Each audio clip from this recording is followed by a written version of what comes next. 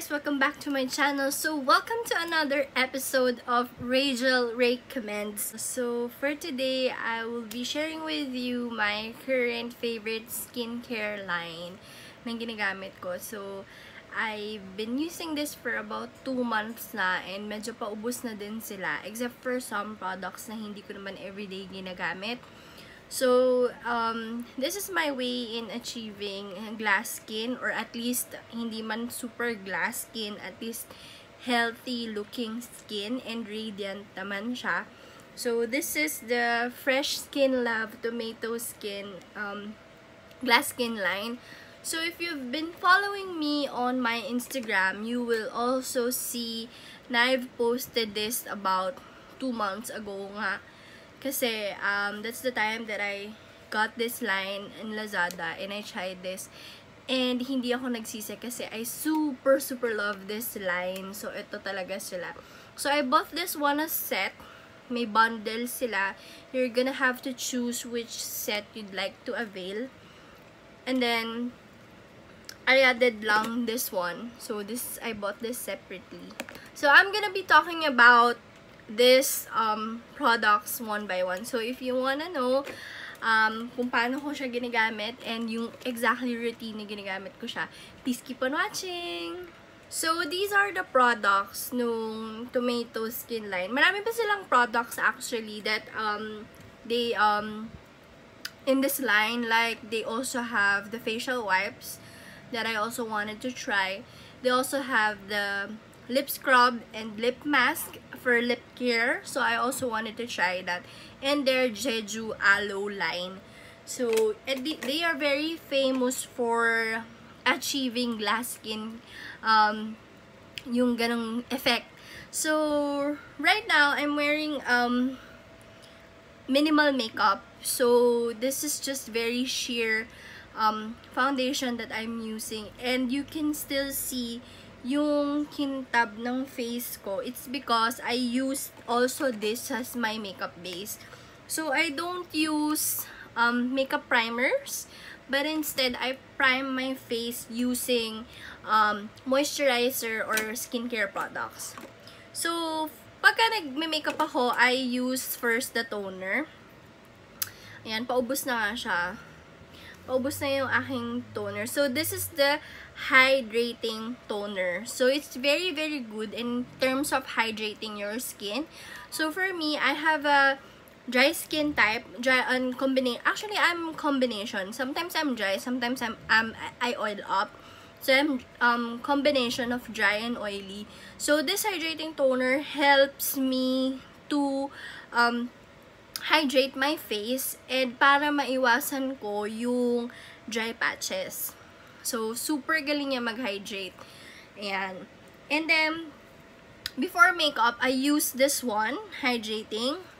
And then, after, I can use this one, yung Soothing Gel Lotion, which acts as my moisturizer. I also use this one when I use my RF wand. So, I also did a review for my RF wand. So, if you wanna know that, you can check out on the description box below. And then, or after toner, I use this. So, it's either a combination of this two or this two. So, kasi para moisturizer. Eh. This one acts like serum. So, si Water Drop Cream acts like serum. So, si Water Drop Cream, when you apply it, when you apply, when you squeeze this one from the tube, it looks like um, a silicone gel. It's super thick ng consistency niya. And then when you apply it sa face mo, it becomes like a velvety finish. That's why parang it also, if you're gonna, if I'm gonna compare it, this looks like a makeup primer. Um, I've tried using makeup primers of Elizabecca, um, Maybelline Baby Skin, and Vanilla Ho primer. So, that's how I'm gonna compare this one. Mukha talaga siyang primer. That's why I love using this to prime my face before I do my makeup. So, yeah, it's a combination of this most of the time, ha? Most of the time. But if I'm using super matte foundation, I try to combine this two kasi mas moisturizing siya. Because this one is super, super creamy naman. Mas mas watery yung consistency niya than this one. Kasi this one is super thick. So, yon. So, and then, I also have this um, sleeping pack, which is mas pang deep, parang deep moisturizing siya. So, pagka I feel my face is, is especially dry, I use this one on top of this moisturizer. So, mamaya ko explain sa inyo yung step-by-step -step routine. So, I'm just talking about all the products. So, ito. You can use this or if I don't feel my face super extra dry, I use this at least once a week or twice a week para mas ma-hydrate yung skin ko. So, when do I use this? So, I use this morning and night time. Pag sinisipag ako, morning. Pag sinisipag ako, morning and night time. Pero, most of the time, it's on the evening lang. And then, lastly, yung face mist nila, super ganda ng pag-spray nito, guys. I super love the spray. Super, hindi siya masakit. Yung, kasi may impact yung facial mist na spray, ba diba? Tapos, um, hindi siya masakit yung pag ganun niya. And then, yung spread niya is super lawak. Plus, it also, um, hindi siya masakit sa ilong yung amoy. Kasi, there are several, um, I've also tried several face mist. So, hindi ko gusto kasi yung mga roast scents na parang ang tapang.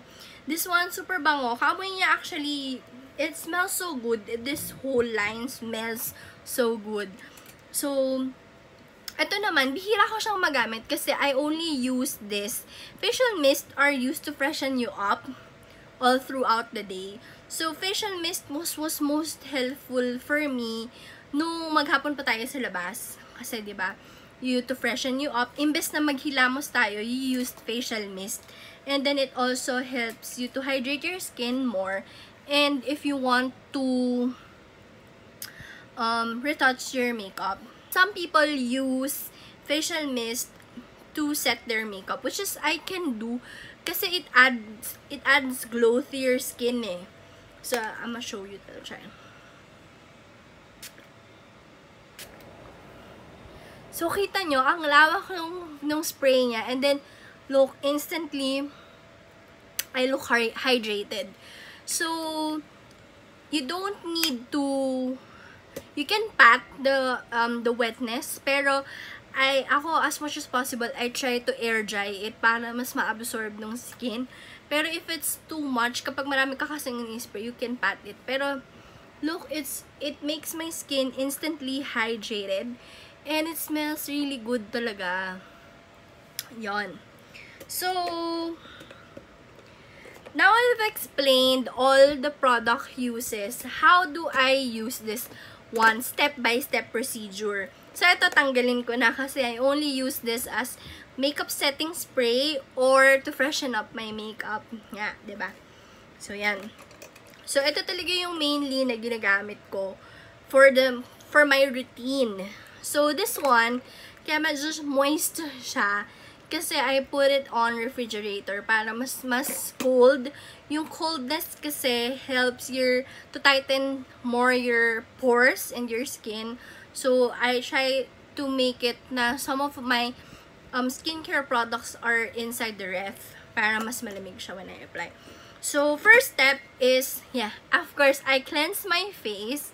So I don't have their cleanser. They also have pala cleanser bar. But I use another brand. So, uh, for my facial cleanser, I use um, Care Routine. So, depende na lang yan kapag ka, sometimes I use yung mga masks before um, applying this as last. Or, ito naman, sometimes, ganito nga siya, once or twice a week for um, deep moisturizing, you use this one toner. I use this one toner. And then, serum, moisturizer, and then, sleeping pack. So, yeah, this one is once or twice a week kapag, or if my skin feels extra dry. So, there you go guys. That is my skincare um, routine. That's how I try to achieve um, radiant and glass skin look. Kahit na hindi super glass skin, it still makes my skin super, it looks my skin healthy and parang bouncy din. Well, bouncy na talaga yung cheeks ko. But, yeah, it makes it look super supple yung skin. It looks so healthy. Yon, I think that's the right term. It My skin looks healthy. So, That's why I super love the Fresh Skin Lab Tomato line. So I do recommend this Fresh Skin Lab Tomato line kasi this is really my current skincare routine to help me achieve glass skin look and healthy looking skin. So, it doesn't only stop there. I think sometimes I even look radiant.